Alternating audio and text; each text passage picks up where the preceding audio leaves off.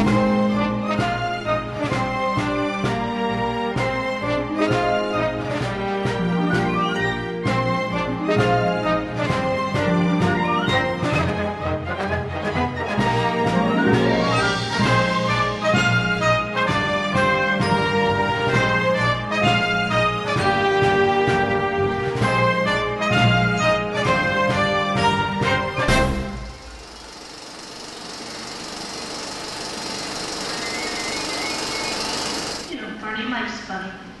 One minute people are your best friends, and the next you're fantasizing they're being ripped apart by a pack of rabid wolves. You too, huh? Mm-hmm. Oh, Barney, they've changed. I hardly know him since Fred's become such a big shot. Yeah, it should be us that squandered all our money and treating our friends like dirt.